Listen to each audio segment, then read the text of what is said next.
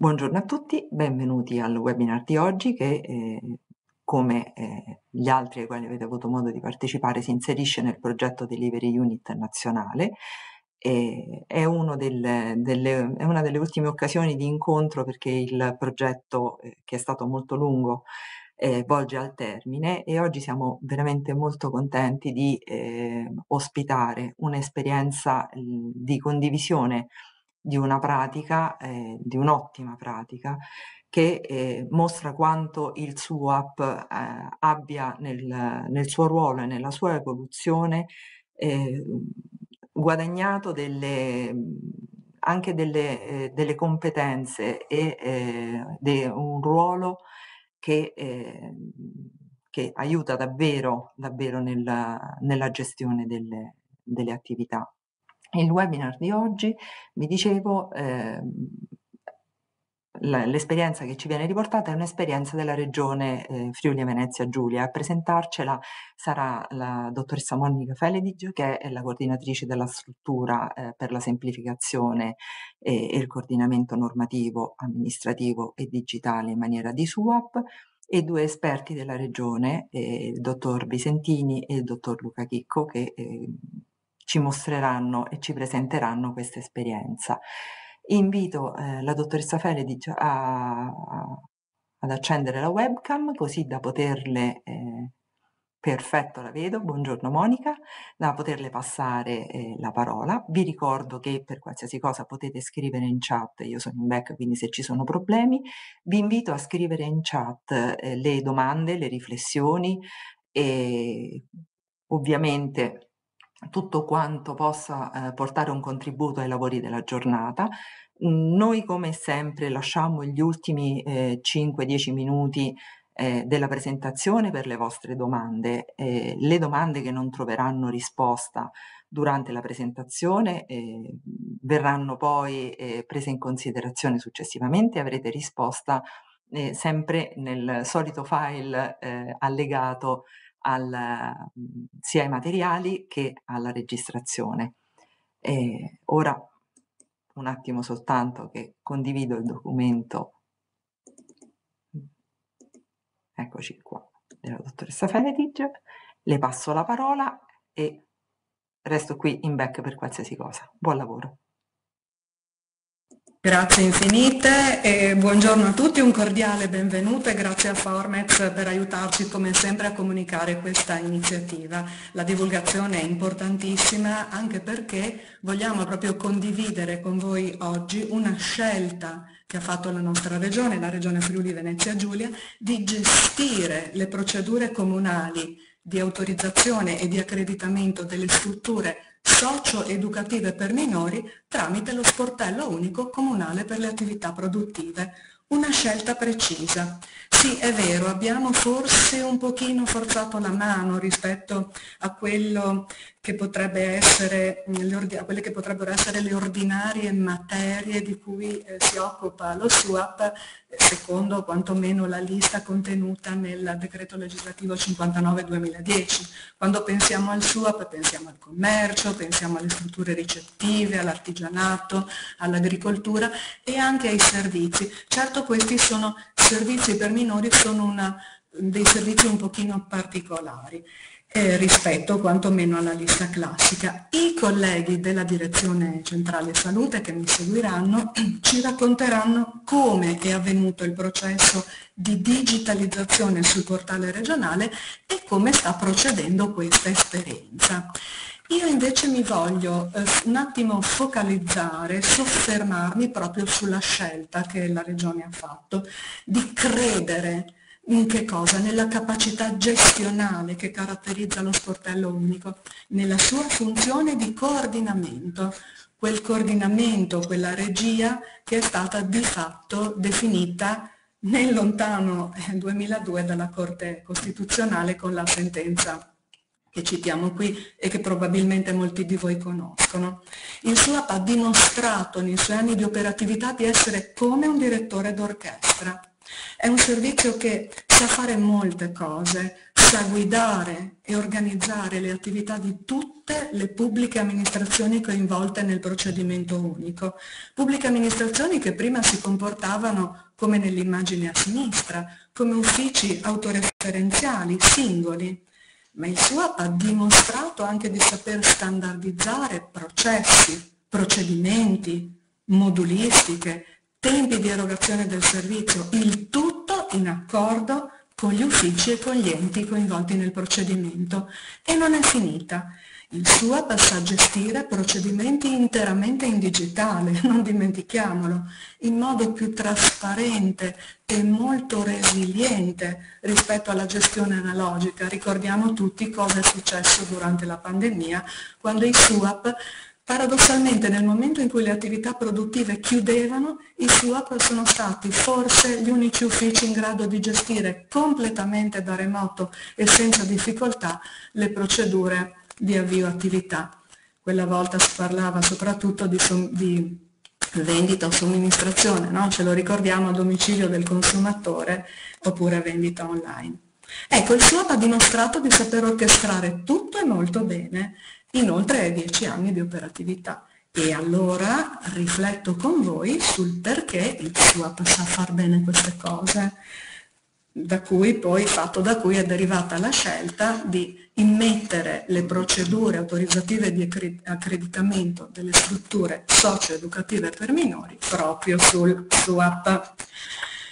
I SUAP stanno bene perché i responsabili dei SUAP, i loro colleghi, i loro collaboratori, in questi dieci anni hanno sviluppato tutte le competenze trasversali necessarie per la gestione di progetti e attività complessi. E guardate, senza che nessuno li aiutasse a farlo, e prima ancora che arrivasse il Piano Nazionale di Ripresa e Resilienza. Responsabili e operatori possono anche essere super esperti di una singola materia, quindi possedere le hard skill tipiche di chi ha fatto un percorso di studi in architettura, urbanistica, avvocatura, ingegneria, ma tutto sommato le hard skill che hanno nel loro bagaglio culturale interessano meno rispetto alle soft skill, cioè le competenze trasversali che hanno saputo sviluppare per gestire correttamente ed organizzare il proprio SWAP.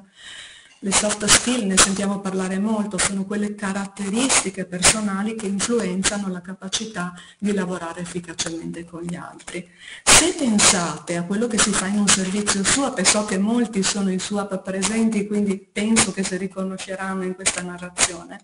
e non è difficile identificare le soft skill che caratterizzano gli operatori. La capacità di gestione del tempo, e dell'organizzazione di uffici dentro e fuori l'amministrazione comunale, la capacità di pianificazione e gestione dei processi di lavoro, ma anche la capacità di risolvere i problemi e di adattarsi a contesti che cambiano in continuazione. Pensate solo alle norme, che ogni due per tre c'è un cambiamento la capacità di guida, il lavoro di squadra, di collaborazione, ma anche la gestione della resistenza al cambiamento, perché questo digitale ancora fa fatica a permeare un po' l'intero tessuto socio-sociale del nostro paese. La capacità di comunicazione dentro l'ufficio SUAP, al di fuori dell'ufficio SUAP, ma dentro l'amministrazione comunale, fuori dall'amministrazione comunale verso la cittadinanza non è finita perché alle soft skill il personale SWAP deve quantomeno abbinare competenze digitali e anche un minimo, almeno un minimo di conoscenze giuridiche. Quindi c'è tanta competenza, conoscenza e abilità dietro questo ufficio. E allora, voglio farvi osservare ora come le competenze degli sportelli si collochino all'interno del framework delle competenze trasversali per il personale pubblico non dirigenziale, adottato a giugno di quest'anno dal nostro Ministro Zangrillo, nell'ambito della riforma del mercato del lavoro prevista dal PNRR, Piano Nazionale di Ripresa e Resilienza. Guardate, il sistema dei profili professionali pubblici è riprogettato in un nuovo modello articolato proprio sulle conoscenze sì, ma soprattutto competenze e capacità caratteristiche ovviamente della posizione da ricoprire. Che significa questo? Che nel nuovo sistema di profili professionali verso cui ci stiamo orientando non bastano più le hard skill, le conoscenze tecnico-specialistiche, il cosa deve essere fatto, ma ci serve sapere anche come deve essere fatto. Quindi si fa proprio riferimento a quelle soft skill che gli uffici SUAP hanno saputo maturare così bene in questi anni di operatività.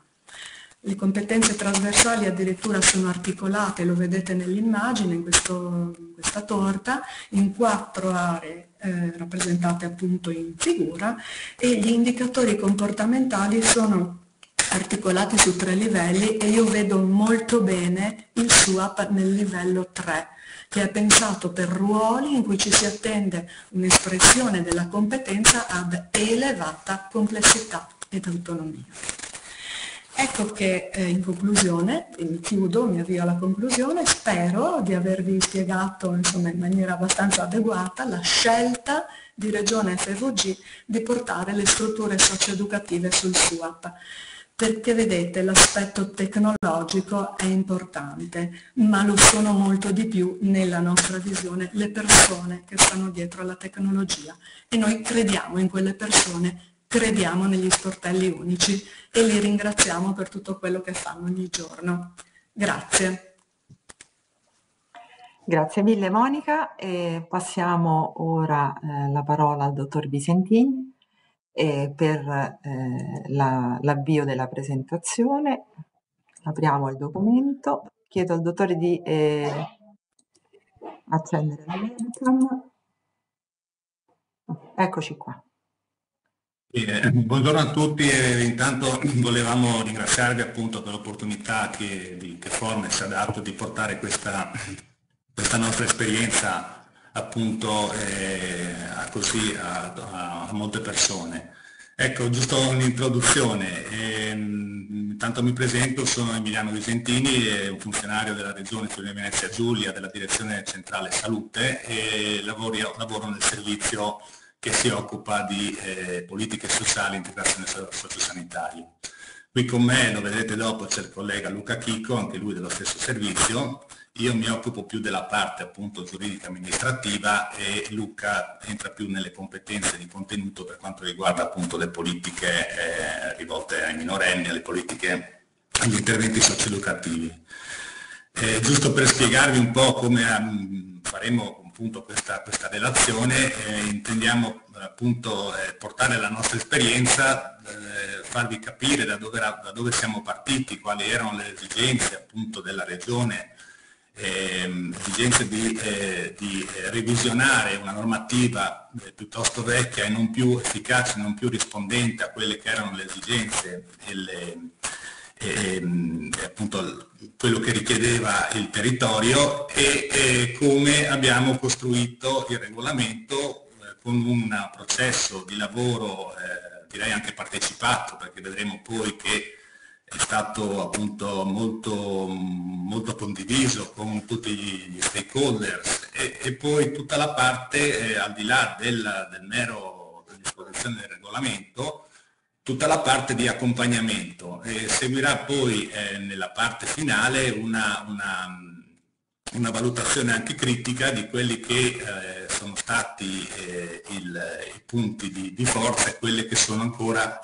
le, le, criticità e le azioni che vorremmo in qualche modo eh, intraprendere nel prossimo futuro per eh, migliorare l'applicazione del regolamento. E, um, anticipo già che appunto, come diceva la collega Monica, ehm, eh, nel regolamento c'è stata una scelta, eh, non dico obbligata, però eh, è, stata, è, stata, in qualche modo valutata e nata un po' dal basso quella di eh, utilizzare uno strumento come il SUAP che al momento crediamo, con tutte le difficoltà operative che si hanno nel momento in cui si eh, mette in atto appunto una, eh, una, revisione normativa così consistente come quella che abbiamo portato avanti, ha dato una grossa mano a eh, gestire procedimenti complessi, a mettere insieme i diversi enti eh, che sono coinvolti nelle procedure e in qualche modo a a tener conto di quello che è appunto è tutto il contesto operativo in cui ci muoviamo. Eh, allora io lascerei adesso appunto la parola alla, alla relazione del, del, dottor Chicco che in qualche modo eh, ci inquadra la materia e eh, ci indica quelli che sono stati i presupposti dai quali poi sono scaturite le, la, la, decisione di eh, intervenire normativamente e di predisporre il regolamento.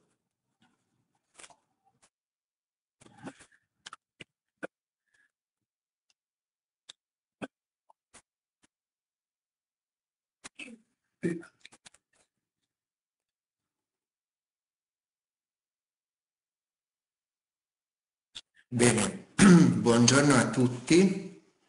Come anticipato dal collega, eh, io sono Luca Chicco, lavoro alla direzione salute eh, politiche sociali e mi occupo, eh, anche per le competenze che ho, eh, specificatamente di tutta la materia relativa a minore famiglia.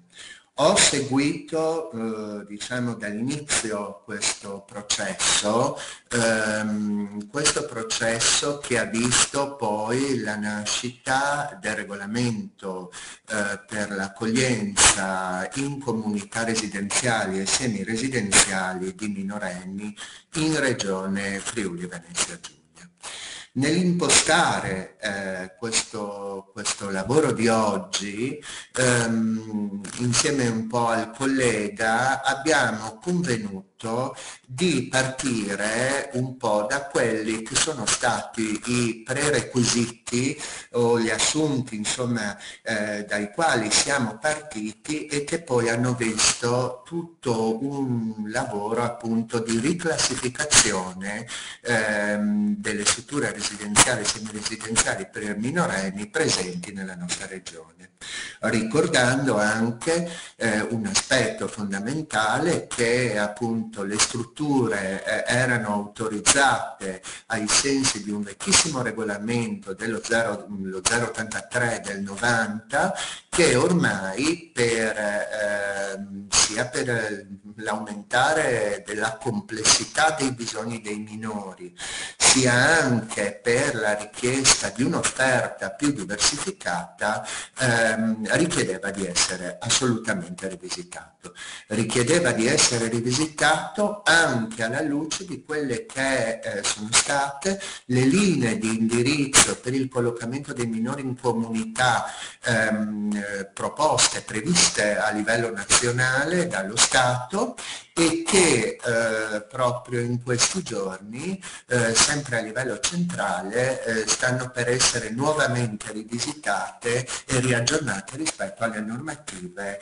ehm, alle nuove normative. Mm, faccio riferimento così tanto per ehm, dare un nome e un cognome, mm, per esempio ehm, nelle nuove linee di indirizzo nazionale è stata recepita tutto il eh, discorso che è presente, ritroviamo appunto all'interno della riforma Cartabia, ma non solo. Qual è la situazione? Quindi il titolo che noi abbiamo detto, storia di un'esperienza, forse a ben guardare e eh, così eh, riflettendoci un po' a posteriore, forse potevamo, potevamo eh, dare questo titolo, e cioè storia di un processo più che di un'esperienza, perché è un processo ancora in divenire effettivamente nel senso che rispetto al eh, tema autorizzativo di accreditamento delle comunità noi siamo partiti quest'anno, ehm, i servizi sono ancora all'opera perché noi sul nostro territorio regionale contiamo circa un centinaio di comunità eh, per minorenni, ivi comprese le comunità per minori stranieri non accompagnati, quindi è un lavoro ancora in itinere rispetto al quale, eh, come dirà eh, il collega Emiliano Visentini che mi, che mi seguirà nel, nel, nel, suo intervento, dirà appunto che eh, rispetto agli elementi raccolti eh, di tipo qualitativo e quantitativo di questo processo ancora siamo in fase così di elaborazione dei dati, tra virgolette. Detto questo, ehm, qual era la situazione? Dunque, ehm, ritorniamo al 2017, perché questo processo ha avuto origine nel 2017.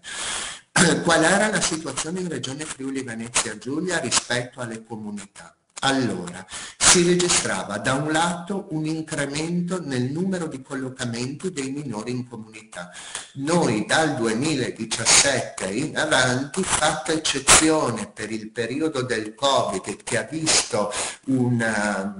così un, un, momento di arresto legato all'accoglienza in comunità, però diciamo che ehm, il numero eh, dei collocamenti dei minori in comunità è,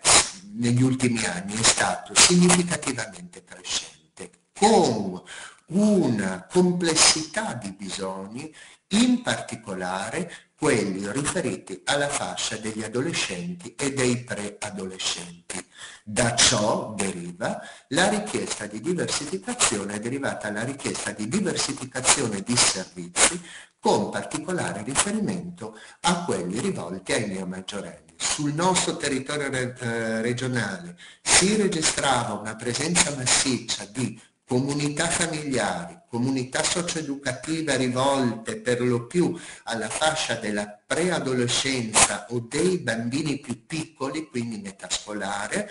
mh, mm, carente era l'offerta sul territorio di servizi per eh, neomaggiorenni e per adolescenti e quindi eh, diciamo questo regolamento ha voluto anche rispondere a queste esigenze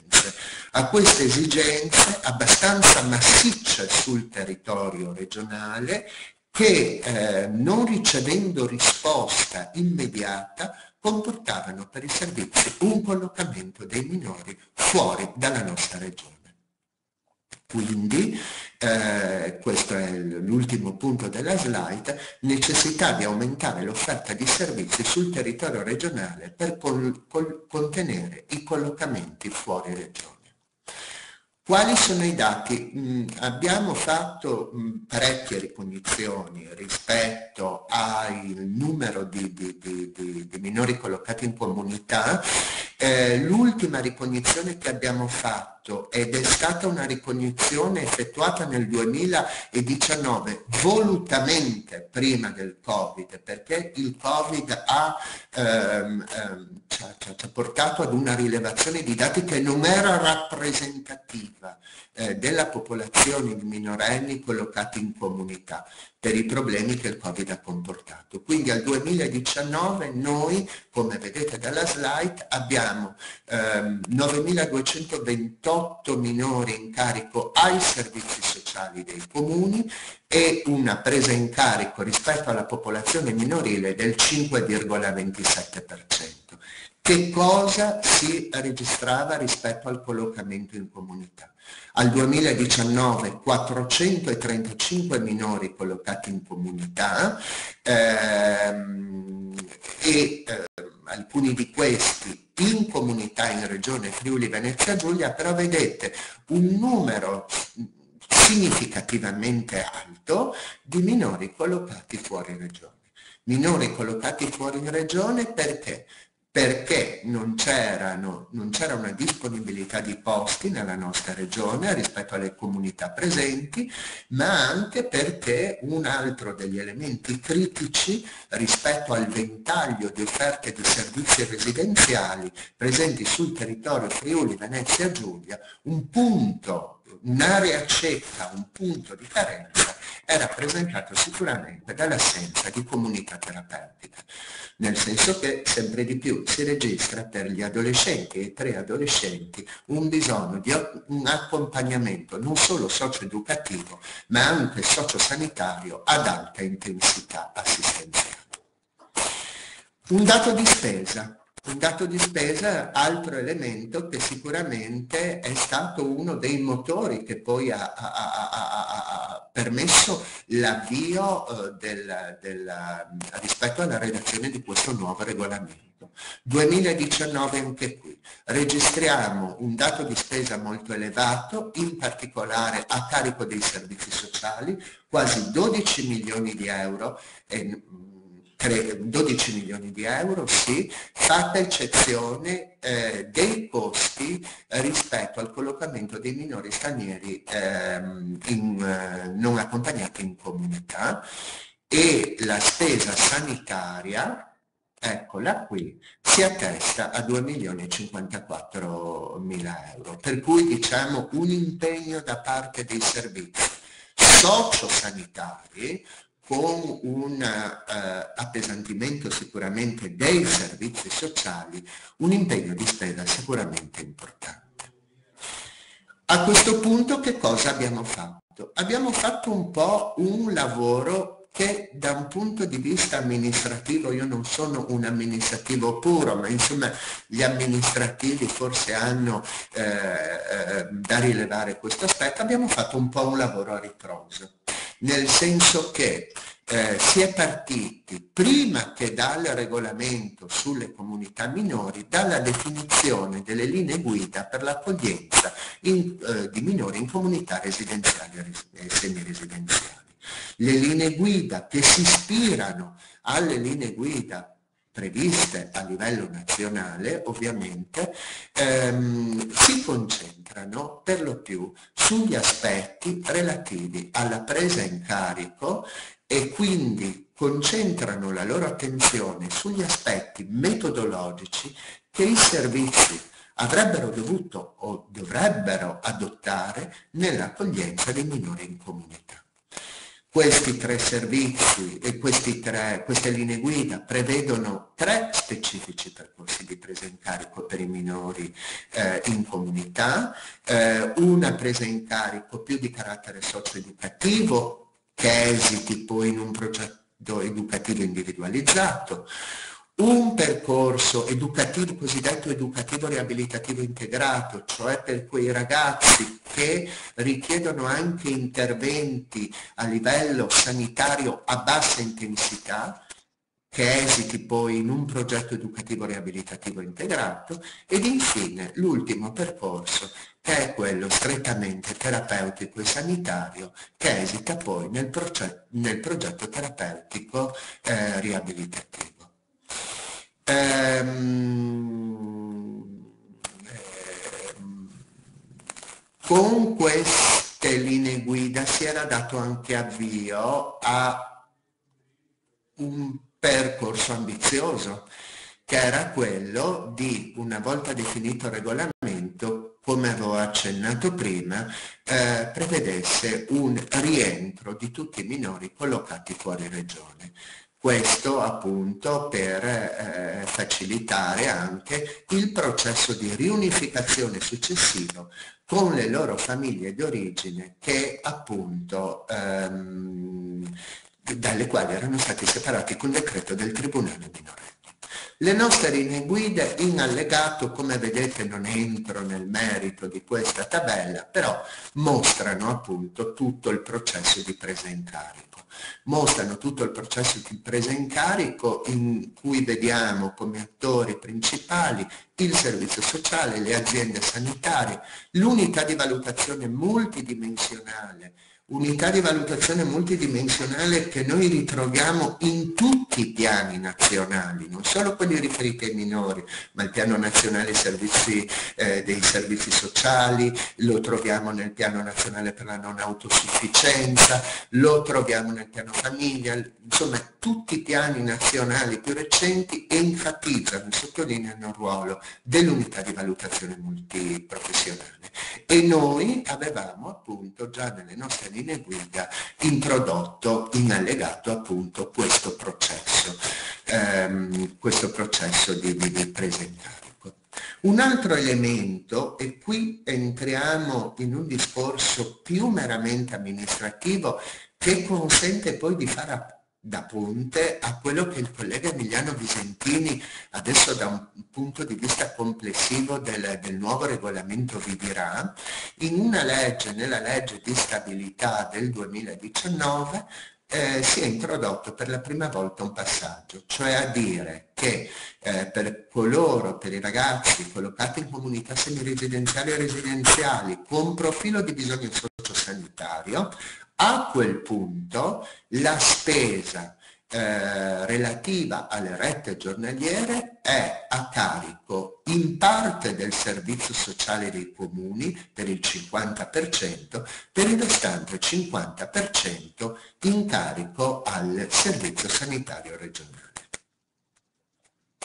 E quindi, eh, e quindi eh, in questo modo ecco che già in eh, legge di stabilità ehm, si, erano, si,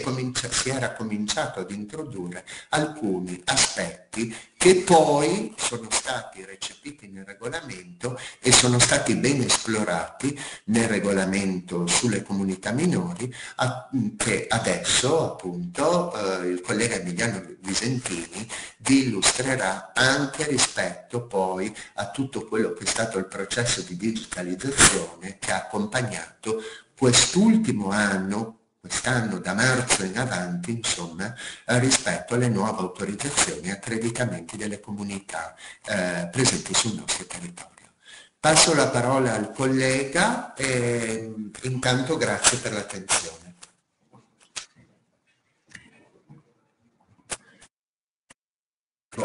Grazie allora Luca per questa introduzione che appunto ha delineato eh, quali erano i presupposti no, da cui si diceva ha preso vita il regolamento. Allora, dal punto di vista eh, normativo e amministrativo ehm, abbiamo un punto di partenza che era il regolamento eh, 083 del 90 che eh, lo dice la data stessa perché negli anni non era neanche stato praticamente modificato, risultava obsoleto prevedeva un'offerta di servizi limitata perché non contemplava determinate eh, tipologie di strutture che nel corso del tempo eh, a livello nazionale erano, andate, erano maturate, quindi eh, ad esempio le comunità specifiche per il genitore bambino, quelle per minori stranieri non accompagnati, i servizi semiresidenziali eh, prevedeva requisiti che non erano più a, adeguati e che non erano in linea con le, le indicazioni eh, nazionali eh, più recenti, appunto come aveva accennato prima il collega, in particolare le linee guida nazionali del 2017 che in qualche modo davano indicazioni alle, alle regioni eh, eh, e le stimolavano a eh, disciplinare la materia secondo appunto indicazioni, eh, indicazioni uniformi sul territorio nazionale. Il, um, seconda cosa, il, il regolamento, ehm, il vecchio regolamento non, non prevedeva l'attuazione di istituti che erano già pre presenti sia nella normativa nazionale sia in quella regionale, cioè l'accreditamento delle strutture la vigilanza e il monitoraggio delle, della, sulla qualità delle prestazioni erogate dalle strutture. Bene, quindi il mandato, l'obiettivo eh, di cui ci siamo fatti carico era quello di eh, riformare in modo più organico e più complessivo la regolamentazione dell'intera materia per riclassificare tutte le, le, strutture esistenti sul territorio regionale sulla base delle, delle caratteristiche appunto eh, stabilite da un nuovo regolamento che, che fossero ehm, coerenti con la, con la, disciplina nazionale, diversificare eh, l'offerta al fine di renderla adeguata ai bisogni dei minori, eh, che, che, appunto eh, sono sempre, sempre, più complessi e quindi richiedono eh, servizi diversificati, tipologie di strutture diversificate, introdurre eh, l'accreditamento per garantire qualità e uniformità dei livelli delle prestazioni e per fissare de degli standard appunto di, eh, di, qualità che prima erano in qualche modo un po' a macchia di leopardo, che dipendevano dal, dalle procedure di affidamento che i vari servizi facevano con le, con le strutture, ma che erano, appunto, non erano omogenei nel territorio eh, regionale. E, e, come detto prima, eh, un obiettivo era quello, eh, aumentando la, la, diversificando l'offerta e rendendola più attrattiva, di contenere ricorso a strutture fuori regione perché chiaramente, eh, come abbiamo visto prima, si tratta fra eh, spesa sociale, spesa sanitaria e spesa per MISNA, 20 milioni di euro all'anno di, eh, di, di fondi che chiaramente se vanno finire fuori regione è una perdita, è una sconfitta per la regione stessa. Ecco, ehm, quadro normativo di riferimento. Allora, ehm, qui eh, ci sono appunto norme nazionali e norme eh, regionali che appunto chiaramente sono coerenti con le norme nazionali che ehm, stabiliscono la, la, la, la, separazione delle competenze, l'attribuzione delle competenze ai vari enti, ai enti che dopo eh, vedremo entrano in gioco nei processi. Ehm, l'articolo 6 della legge 328 prevede fra le funzioni dei comuni eh, l'autorizzazione, l'accreditamento, la vigilanza delle strutture residenziali e semi-residenziali a gestione pubblica o degli enti del terzo settore di altri privati sulla base appunto della disciplina eh, adottata dalle regioni. Così pure stessa cosa speculare lo ritroviamo anche nella legge 6 del 2006 l'articolo 10. E, appunto per quanto riguarda le funzioni del, delle, delle, regioni, eh, la norma nazionale e poi anche quella regionale prevede che le regioni eh, sulla base dei requisiti minimi fissati dallo Stato definiscano quali siano i criteri per l'autorizzazione, l'accreditamento e la vigilanza delle strutture, eh, provvedano a istituire dei registri dei soggetti autorizzati e eh, definiscano requisiti di qualità per la gestione dei servizi e l'erogazione delle prestazioni. Stessa cosa appunto lo ritroviamo anche nella legge regionale, la legge 6 che eh, appunto disciplina il sistema integrato di interventi e servizi sociali dove attribuisce alla Regione il compito di definire requisiti eh, per l'autorizzazione e per l'accreditamento e di eh, stabilire le procedure. Ehm, un ulteriore eh, attore che entra in campo eh, quando si parla appunto di eh, autorizzazione e accreditamento delle strutture sono eh, nella nostra regione i servizi sociali dei comuni. Servizi sociali dei comuni che eh, per quanto riguarda la eh, disciplina organizzativa e istituzionale della nostra regione sono forme di gestione associata delle competenze comunali in materia di politiche sociali e interventi sociali. Cioè il territorio della regione è diviso in aree territoriali, in ambiti territoriali, ehm, aggregazioni di comuni che eh, tramite una convenzione eh, attribuiscono la delega gesti alla gestione di determinati servizi sociali a, eh, un, a, un, ente gestore che può essere un ente,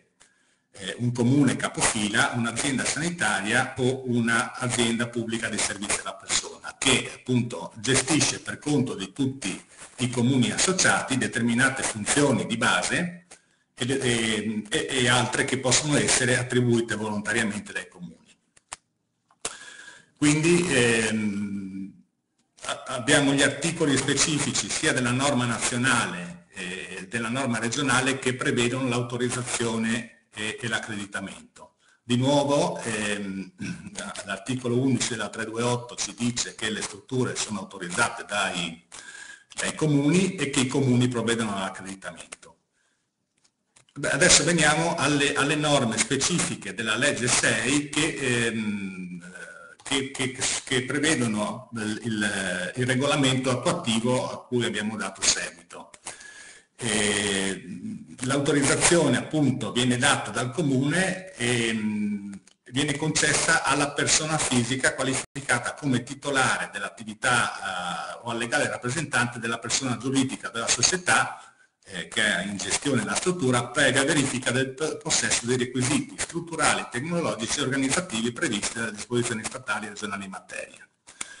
L'articolo seguente riguarda la vigilanza e eh, prevede che tutta la funzione di vigilanza sulle strutture venga esercitata in forma associata, quindi da parte dell'ente gestore del servizio sociale dei comuni e parimenti l'articolo 33 eh, prevede che eh, attività di accreditamento sono esercitate anche questo in forma associata dal Servizio Sociale dei Comuni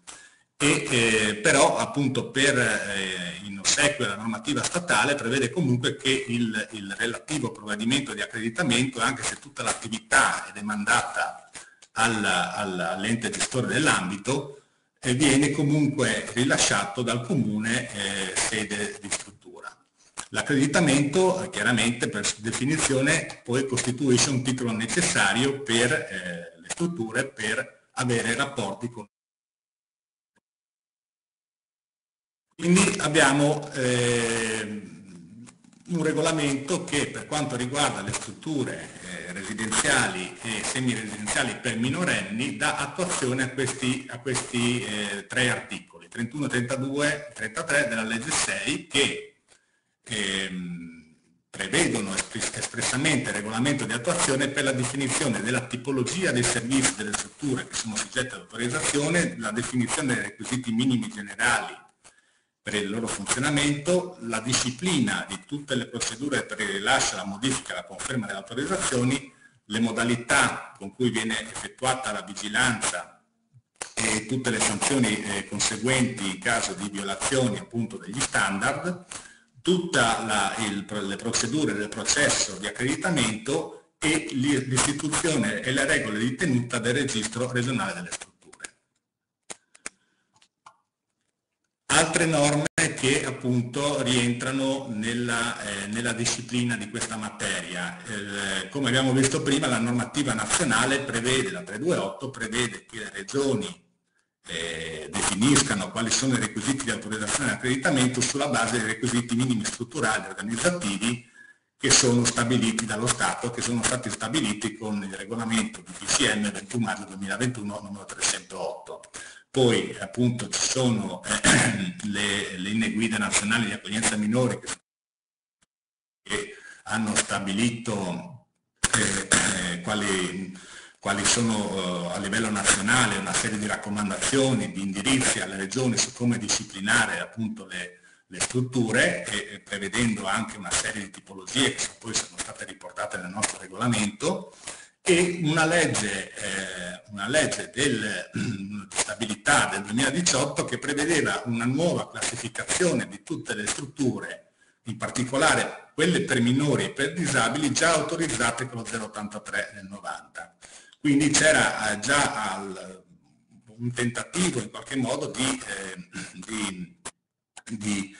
di prescrivere che eh, era, era, ora di iniziare a lavorare per in qualche modo ridisciplinare tutta la, la materia. E poi ci sono le eh, linee guida regionali per la presa in carico dei minori che sono state prima eh, spiegate collega. Ecco, eh, qui riporti, riporto solo l'indice, eh, senza entrare nel dettaglio del regolamento, eh, di quello che appunto è, il, è, è stato il, il, decreto del Presidente della Regione numero 100, 158 del 7 dicembre del 2022. Eh, come vedete appunto si suddivide in eh, prevede le disposizioni generali, eh, un capo dedicato all'autorizzazione, un altro all'accreditamento, alla vigilanza, all'istituzione del registro, una parte importante di cui diremo poi che eh, eh, sarà appunto in corso di attuazione è la definizione no, della retta e, e di tutti il, eh, gli obblighi informativi a carico delle strutture e poi tutta una fase di disposizioni transitorie finali di prima applicazione che riguardano sostanzialmente la fase di riclassificazione di tutte le strutture esistenti nel momento in cui è entrato in vigore il nuovo regolamento. Allora, per quanto riguarda ehm, l'autorizzazione, si è cercato appunto, visto che l'autorizzazione ha carattere personale, ce lo dice la norma, di, ehm, di, di distinguere requisiti soggettivi che devono essere in capo al legale rappresentante della struttura, quindi requisiti morali ed onorabilità, e eh, quelli che sono eh, requisiti oggettivi, sono requisiti strutturali, organizzativi, gestionali e di personale. E, eh, nel regolamento sono, sono presenti ehm, due allegati sostanziali, uno che definisce e descrive le tipologie, le varie tipologie di strutture, e il, un secondo allegato che riguarda appunto tutta, tutti i requisiti di autorizzazione eh, e di accreditamento specifici per ogni tipologia di, di struttura. Ehm, si è fatta una scelta alla luce appunto della ripartizione delle competenze che, ehm, che, che sono delineate appunto dalla legge nazionale e dalla legge regionale fra eh, chi controlla cosa. Nel, nel, quindi nel regolamento è, stato chiarito, eh, chiarite le competenze e, e, i compiti di eh, ogni, ogni ente che è coinvolto nel procedimento. Quindi per quanto riguarda l'autorizzazione, i requisiti strutturali e organizzativi eh, gestionali sono stati ripartiti in, in due, eh, con la competenza del comune, con il supporto di eh, azienda sanitaria e servizi sociali. Mentre per quanto riguarda l'accreditamento, chiaramente si parla di qualità delle prestazioni, qui eh, abbiamo visto la norma di prima che, eh, che, eh, che prevede che tutte le attività che riguardano l'accreditamento vengano eh, gestite a livello di ambito con, eh, il, con, il, supporto della Regione tramite un organismo tecnico per l'accreditamento. Questo organismo che è stato istituito con legge regionale 8 del 2022 è stato proprio, ehm, ehm, è stato proprio pensato e eh, istituito con, ehm, in occasione appunto di questo eh, regolamento, perché eh, quando si parla di accreditamento chiaramente eh, si parla di qualità di servizi, quindi eh, qualità di servizi che devono essere coerenti e omogenei in tutto il territorio regionale. Quindi eh, era necessario istituire un organismo che avesse una certa regia, che facesse da supporto agli ambiti eh, per garantire appunto questa omogeneità nelle procedure di accreditamento. Ecco, eh, procedura di autorizzazione e accreditamento, eh, c'è stata una scelta, come vedremo poi, eh, che è partita un po' dal basso, di scegliere di gestire tramite il SUAP. Perché il SUAP? Perché eh, chiaramente per rispettare anche la, la, la, natura stessa del SUAP e le finalità che ritroviamo leggi, nelle leggi eh, eh, di settore del SUAP, cioè l'esigenza di coordinare l'attività di più enti in procedure che sono particolarmente complesse, la necessità di avere un punto di accesso unico per l'utenza e eh, la necessità di eh, digitalizzare e di standardizzare, uniformare le procedure, di renderle eh, più semplici e più trasparenti. E poi per, ehm, anche per, si è colta l'occasione del SUA perché eh, è un'infrastrutturazione che era già presente in tutti i comuni e quindi eh, poteva dare un supporto, una regia nelle, nelle, in tutte le procedure eh, appunto, eh, di, relative a questo regolamento. Quindi a livello di ruoli il SUAP gestisce e guida il procedimento amministrativo, cura l'istruttoria formale, i rapporti con utenti e amministrazioni, il comune gli enti terzi, quindi comune, sede, di, eh, dove ha sede la struttura, l'ambito per quanto riguarda i requisiti eh, organizzativi e gestionali e le aziende sanitarie per quanto riguarda il rilascio di pareri ehm, igienico-sanitari hanno una responsabilità endoprocedimentale, svolgono l'istruttoria sostanziale per gli aspetti di competenza, emanano i pareri e nel caso del comune il provvedimento finale di autorizzazione o accreditamento. Quindi eh, così a grandi linee il flusso, il SUAP eh, riceve l'istanza, la relativa documentazione, chiaramente eh,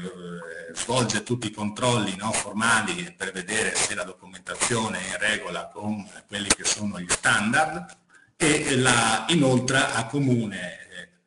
eh, all'ente gestore dell'ambito sociale e all'azienda sanitaria. Il comune ha il compito di verificare i requisiti di onorabilità del regale rappresentante, quindi i requisiti soggettivi di autorizzazione e quelli strutturali tramite i propri uffici tecnici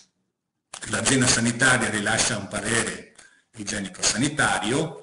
e l'ambito verifica i requisiti organizzativi e gestionali. Alla fine il, il, comune rilascia un provvedimento di autorizzazione che viene comunicato dal, dal SUAP ai destinatari. Stessa cosa con eh, un po' più semplice per quanto riguarda l'accreditamento, chiaramente qui non c'è il ruolo dell'azienda sanitaria perché tutta l'attività viene gestita a livello di ambito da parte dell'ente gestore dei servizi sociali dei comuni che rilascia un parere e eh, lo comunica al, al, comune sede di struttura e eh, che, che rilascia provvedimento finale di accreditamento. Tempi per autorizzazione all'accreditamento sono procedure eh, piuttosto complesse, sono stati definiti appunto nel massimo possibile in 90 giorni dalla presentazione della domanda, eh, è, è, previsto, visto che come vedremo poi si, tratta, si è trattato di eh, riautorizzare tutta, tutto l'esistente, eh, chiaramente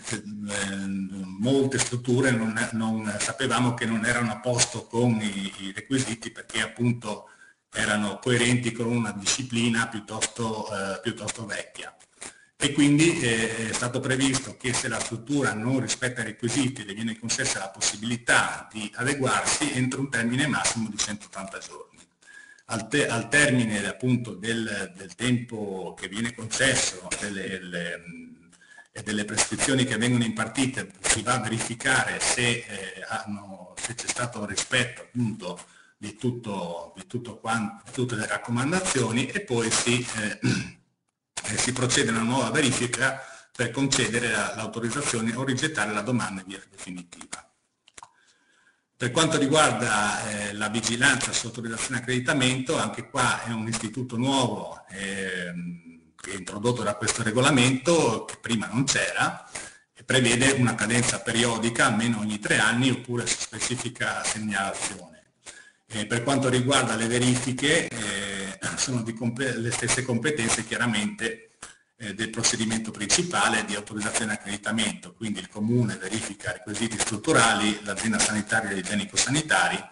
e eh, l'ambito e quelli organizzativi e gestionali. Anche qua al termine delle verifiche, se vengono riscontrate delle irregolarità, vengono, eh, vengono impartite delle prescrizioni e i termini entro i quali adeguarsi e eh, se non c'è un adeguamento ci sarà la revoca in caso di, di, appunto, di mancata ottemperanza. E, come abbiamo visto prima, una delle, una delle,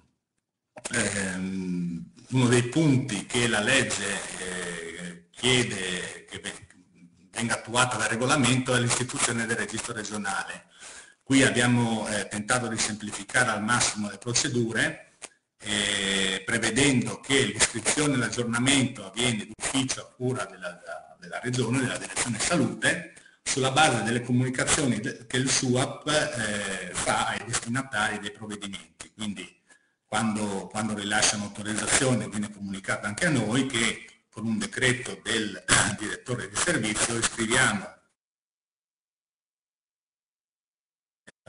con tutte le, ehm, con tutte le, le informazioni necessarie e lo rendiamo pubblico nella pagina del sito della Regione. Ecco, dicevo prima che uno dei punti che ehm, diciamo qualificanti di questo regolamento è, eh, un, l, è, la parte delle rette, rette che eh, chiaramente in, in, questo settore, eh, visto anche che ehm, con la regolamentazione precedente non, c'erano, eh, non erano eh, fornite indicazioni, non c'erano regole sulle rette, adesso vengono invece introdotte. Questo per far sì che eh, le ricognizioni che avevamo anche fatto prima, del, prima dell'emanazione del regolamento eh, si vedevano eh, pratiche un po' diciamo eterogenee, nel senso che a, a, per le stesse strutture, per gli stessi servizi, c'erano dei divari di retta eh, non, non, giustificabili in alcuni casi. E quindi eh, il tentativo è quello, eh, che non è ancora eh, attuato. Abbiamo introdotto le basi eh, almeno regolamentari per farlo, di eh, prevedere innanzitutto un obbligo di comunicazione, quindi di trasparenza delle rette alla, alla regione e, ehm, e poi eh, un, la possibilità con un atto di giunta di definire dei criteri eh, di determinazione della retta a seconda del tipo di struttura e quindi del tipo di utenza che c'è dentro, delle necessità dei minori che sono accolti e ehm, appunto l'indicazione diretta di riferimento per garantire l'omogeneità sul territorio. Il percorso di costruzione del nuovo regolamento. Allora, eh, siamo partiti a settembre del 2021 con una prima bozza in cui eh, non avevamo pensato al SUAP, un po' perché appunto per, eh, per, per abitudine nostra non, un, non era uno strumento, non era un istituto che ehm, era, era, eravamo abituati ad usare, perché chiaramente eh, lo, lo, lo, abbiamo utilizzato, cioè non, non fa parte pienamente del nostro ambito di competenza. Poi sono stati avviati dei tavoli di confronto con gli stakeholders, tanto con i gestori privati delle strutture, tanto con gli enti eh, coinvolti appunto nelle procedure in una fase piuttosto lunga che è nata da gennaio del 2022 fino in agosto in cui c'è stato e maturato appunto eh, uno una, una, tra virgolette una, un confronto appunto con eh, con i gestori per capire eh, eh, come definire i, i, requisiti e come far sì che potessero essere eh, diciamo, rispettati e chiaramente non potevamo andare a mettere in discussione tutto, tutto l'esistente, dovevamo garantire garantire la, la, continuità dei servizi. Quindi per non mettere in crisi tutti i gestori abbiamo in qualche modo eh, lavorato per trovare dei requisiti che potessero andare bene eh, pur, mm, pur, non, pur non eh, mettendo in discussione quelle che era l'esigenza di garantire la, la, la, quali, la, qualità dei servizi. E poi eh, un grosso lavoro è stato fatto eh, con, eh, sostanzialmente con i servizi sociali dei comuni per in qualche modo eh, andare a, a definire le procedure ed è qui che è nata appunto eh, l'esigenza di, eh, di, provare a pensare anche al SUAP come coordinatore delle, delle, delle procedure per eh, appunto renderle, renderle più, più, trasparenti, più, ehm, più agevoli e, e, e, quindi avere, avere un, un, organismo che potesse appunto coordinare i vari enti nelle diverse competenze di ognuno. E anche appunto come si diceva sfruttando l'infrastrutturazione eh, tecnologica e tutto quello che comporta il SUAP. E quindi siamo arrivati a settembre del 22 con l'elaborazione di una bozza definitiva del regolamento e a ottobre del 22 con l'avvio dell'iter di approvazione del regolamento che è stato piuttosto lungo perché a livello istituzionale appunto sono regolamenti che prevedono vari passaggi no, di, di, confronto con le autonomie locali, con le commissioni consigliari competenti. E poi ehm,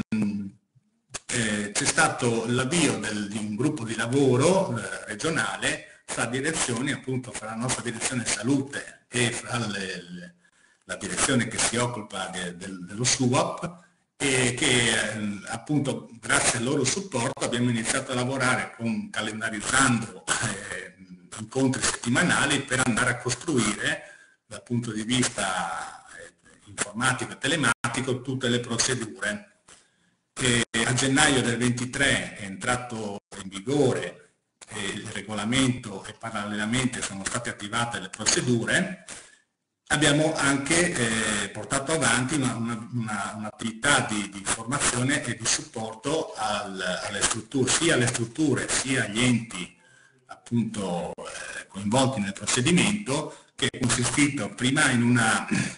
in una serie di eh, incontri, di webinar per spiegare il, per spiegare il, il, il regolamento con, eh, con l'attivazione di un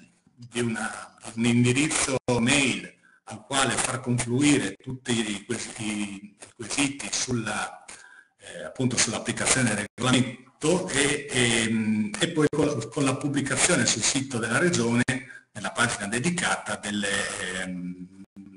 delle FAC che al, appunto sono arrivate ormai a più di 80 FAC eh, tra domande e risposte. Ecco, il, eh, il regolamento stesso prevedeva, prevede che eh, entro marzo, entro 31 marzo 2023, tutte le strutture esistenti, eh, proprio per eh, far partire questo processo di riclassificazione, eh, ehm, presentassero domanda di autorizzazione di accreditamento sulla base dei nuovi criteri e appunto a marzo sono arrivate le prime domande. Quindi eh, abbiamo, abbiamo, adesso mh, mm,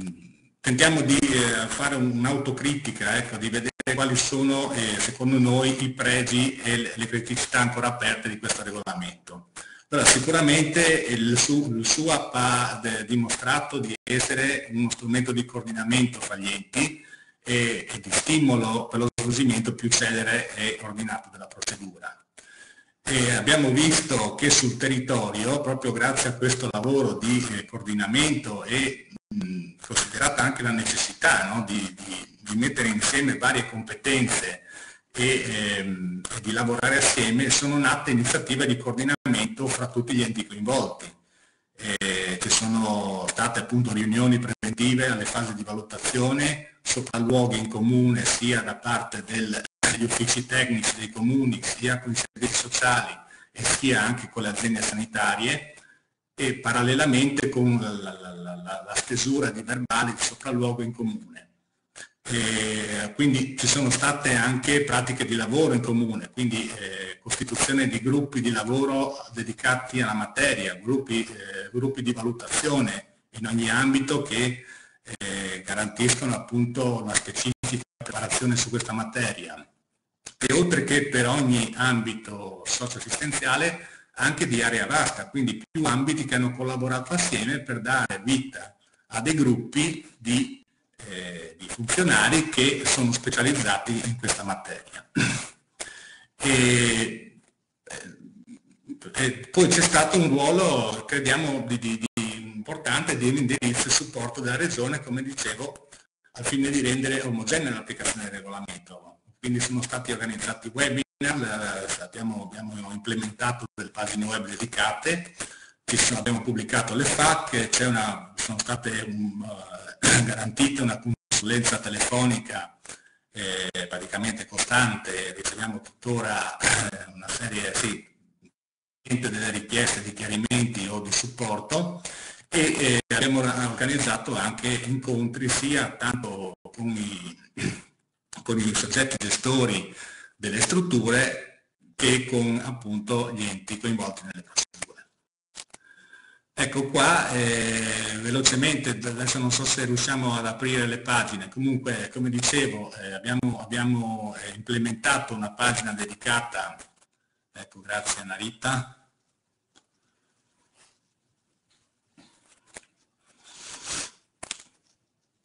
Ecco, questa è la pagina appunto della, del sito della regione dove, che è dedicata esclusivamente al, appunto, al regolamento in cui viene spiegato il regolamento, si trova la documentazione, eh, più in fondo sì, ci sono i riferimenti appunto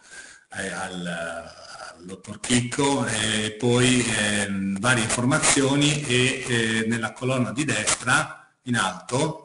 viene riportata appunto la documentazione e l'indirizzo al quale eh, chi è interessato può scrivere per avere consulenza. Vengono pubblicate le FAC, eh, come dicevo prima, e anche pubblicato il registro regionale delle, delle strutture autorizzate. Poi c'è l'altra pagina eh, speculare del, nel, nel, nel sito del SUA della regione che anche qua riporta una serie di indicazioni eh, specifiche sul regolamento e su come eh, vengono lavorate le, eh, le, varie domande, le procedure, eccolo, con appunto eh, tutti, la colonna, la colonna, di destra sono tutti i procedimenti che eh, abbiamo costruito insieme ai colleghi del, del gruppo tecnico SUAP e in fondo appunto vengono eh, definiti quali sono i requisiti no? per, ogni, per, ogni, struttura, vengono, vengono eh, indicati i procedimenti che, collegati, ci sono varie istruzioni, vari moduli, ci sono dei diagrammi di flusso del procedimento. Ecco, possiamo tornare sulle slide.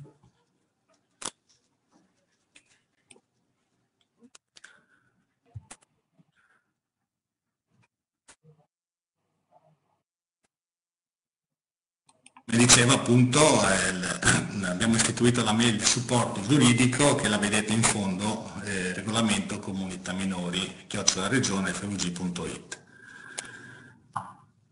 Ora veniamo ai punti di debolezza e criticità. Eh, allora, un, una premessa secondo me doverosa per, il, per dire che eh, è ancora difficile discriminare quali criticità sono attribuibili alle, al nuovo processo, alle nuove procedure che recate dal regolamento e quali alla situazione contingente di riautorizzazione di tutte le strutture esistenti. Come dicevo prima, questo regolamento, eh, per rispondere alla norma che prevedeva eh, una riclassificazione di tutto l'esistente, chiaramente è andato a eh, determinare eh, l'effetto che eh,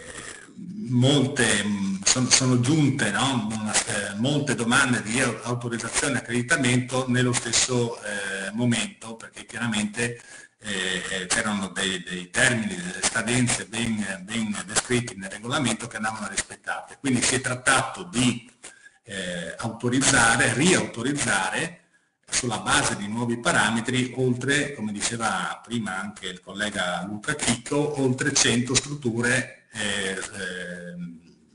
nel territorio regionale.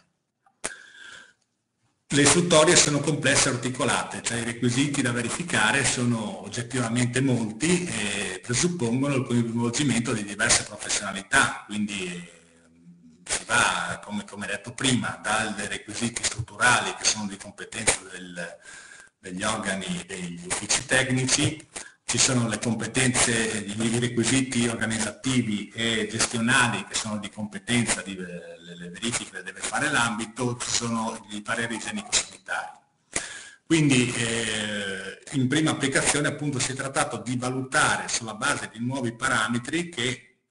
eh, saranno stati anche in qualche modo concordati, ammorbiditi con tutta la fase di confronto con le strutture, ma che comunque in molti casi hanno messo, hanno messo un po' in, in discussione no? le strutture già esistenti, che a, a causa del fatto che erano disciplinate da regolamentazione vecchia che nel tempo in qualche modo era diventata obsoleta, anche, anche, anche di fatto la loro organizzazione si era un po' eh,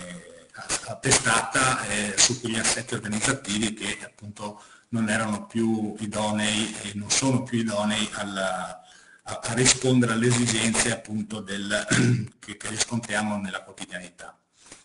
Tutto, da, da, tutto questo chiaramente deriva una difficoltà nel rispettare i tempi del procedimento e di applicare pedissequamente tutte le procedure che sono, sono proprie del SUAP e anche del regolamento stesso. In linea di massima appunto c'è anche questa, questa, difficoltà che è un po' è una conseguenza abbastanza tipica no? nel momento in cui si fa una revisione eh, pesante della normativa di, nella difficoltà di far capire che non si tratta solo di una burocratizzazione del sistema, ma di un tentativo finalizzato a far crescere i servizi nell'ottica della qualità e della differenziazione dell'offerta e che eh, appunto per raggiungere questo obiettivo qua si sono messi in atto delle procedure di semplificazione e di digitalizzazione che eh, sono andate in, quel, in, quell'ottica, però chiaramente dal punto di vista della comunicazione, no? di far capire questa, uno che era un atto dovuto, no? perché non, il sistema non reggeva più al, al, alla, alla, modernità, insomma alla quotidianità più che altro. E, ehm, ecco, un altro punto è, il, come aveva detto Monica all'inizio, è una materia che non è abituale eh, per, per i SUAP. I SUAP sono chiaramente più orientati alla parte produttiva, alla parte all'avvio di, di, di, esercizi commerciali, mentre qua è una materia un po' eh, sui generis che va capita, che ha le sue peculiarità, che ha appunto eh, procedimenti che sono un po' più, eh, più, più complessi o comunque che, eh, che, vanno, che vanno capiti. Allora, cosa, cosa pensiamo ci sia ancora da fare? Eh, siamo arrivati appunto, come dicevo, operativamente le prime domande sono arrivate a, a marzo eh, di quest'anno, quindi eh, a, a, questo punto siamo arrivati a eh, una cinquantina di autorizzazioni su 100 previste, quindi è chiaro che una, una grossa fetta di, eh, di, autorizzazioni non sono state ancora completate, quindi quale conseguenza eh, sarà da capire, eh, da fare una ricognizione di tutte le strutture delle quali non è ancora pervenuta autorizzazione e mettere in atto le azioni di supporto conseguenti nei confronti appunto dei, di quei comuni che ospitano strutture ma che hanno ancora, eh, che devono ancora in qualche modo arrivare ai provvedimenti di autorizzazione. Parallelamente è chiaro che va fatta ancora un'attività forte di formazione sia per i gestori privati sia per gli enti interessati, eh, che dovrà essere accompagnata appunto dalla predisposizione di documentazione di supporto, di manualistica, di, di modelli, di atti no? per, per, gli enti, per assicurare omogeneità, perché anche qua eh, chiaramente abbiamo visto che dalle, dai provvedimenti che ci vengono trasmessi eh, una, ognuno ha le sue particolarità, quindi eh, come giusto anche che sia, però chiaramente eh, sarebbe bene arrivare a una, una standard anche della modulistica. No? E, sarà da eh, verificare no, alla luce dell'aggiornamento delle linee guida nazionali che sono del 2017 sulla base del qua, delle quali questo regolamento appunto ha preso, ha preso avvio sarà di eh, verificare se, eh, se, parallelamente sarà da aggiornare il regolamento una volta che queste nuove linee guida diverranno eh, pienamente esecutive. E poi eh, chiaramente valutare se sono possibili semplificazioni procedurali, quali per esempio la SCIA, chiaramente è una materia un po' eh, delicata, nel senso che l'autorizzazione preventiva all'avvio dell'attività è stata anche pensata proprio perché eh, non sono strutture ehm, diciamo eh, sono strutture che hanno un certo peso sul territorio, per cui eh, prima di avviare l'attività è bene che eh, venga portata la procedura. Però chiaramente se il sistema eh, tra qualche anno sarà, sarà maturo, tutte le, le, strutture esistenti saranno già autorizzate, chiaramente eh, le regole saranno ben definite e i procedimenti saranno ben rodati, forse sarà anche possibile introdurre delle semplificazioni procedimentali per quelle strutture che eh, intendono insediarsi nel territorio. Ecco, vi ringrazio che abbiamo chiuso per la relazione per quanto ci riguarda, vi ringraziamo per l'attenzione e lì eh, lasciamo appunto gli indirizzi mail eh, sia mio che del collega Luca Chicco e abbiamo ancora qualche minuto per, per le, qualche domanda. Prendo io la parola perché eh, mi pare che al momento non ci siano domande, forse proprio per, per il tipo di webinar che ha, ha fatto una panoramica, eh, però volevo dire ai partecipanti che visto che avete gentilmente messo a disposizione i vostri indirizzi mail, eh, oltre alla posta di progetto alla quale possono scrivere, eh, anche domande successive possono essere accolte e trovare risposta. Eh, mi scuso perché ci sono stati momenti in cui l'audio è peggiorato, quindi cioè, ci sono stati momenti con, con un brutto fruscio. Le slide saranno disponibili dal, dal pomeriggio eh, come la registrazione, perché qualcuno in, in chat lo chiede, e sul, all'indirizzo dove vi siete registrati su Eventi PA. E soltanto una piccola cosa, eh, ho fatto poi, c'erano persone che avevano difficoltà ad entrare e quindi c'è una parte di eh, partecipanti che è entrato come ospite, loro non troveranno eh, ovviamente la, la presenza registrata e, e quindi non, non, avranno la eh, segnalazione per eh, scaricare l'attestato, mh, mm, che verrà però, eh, la presenza verrà attestata a quanti hanno preso parte ad almeno la metà del webinar. detto questo, ah c'è una domanda invece che arriva, la fase di verifica delle strutture coinvolge i SUAP? Eh, come detto, qui le, le, competenze sono già definite in legge, quindi il, ci sono, eh, a seconda dei requisiti richiesti, sono, sono, di competenza dei vari enti coinvolti nel procedimento. Quindi per la parte di eh, requisiti soggettivi, che riguardano i requisiti di onorabilità, quindi sostanzialmente l'antimafia, il casellario giudiziario, eh, vengono verificati dal comune così come la parte strutturale, quindi degli uffici tecnici, mentre tutta la parte organizzativa e gestionale viene gestita dall'ambito, dal servizio sociale dei comuni, quindi dall'ente gestore dell'ambito e la parte, la parte, per quanto riguarda l'autorizzazione, eh, la, la, viene, viene, acquisito il parere igienico-sanitario dell'azienda sanitaria, che confluiscono poi appunto in un provvedimento unico che viene rilasciato dal comune e comunicato dal suo. Va bene, grazie. Spero che la,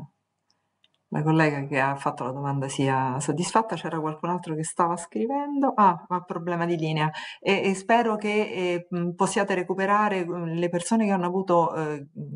tanti problemi di linea, spero che possano recuperare dalla, dalla, registrazione, perché a livello centrale ci sono stati momenti, come vi dicevo, in cui eh, l'audio non era eh, perfetto, però non c'erano grossissimi problemi. Detto questo, io ringrazio tantissimo i relatori per aver messo e per aver condiviso condiviso con noi questa eh, esperienza davvero molto interessante e, e vi do appuntamento alla prossima volta. Buon proseguimento.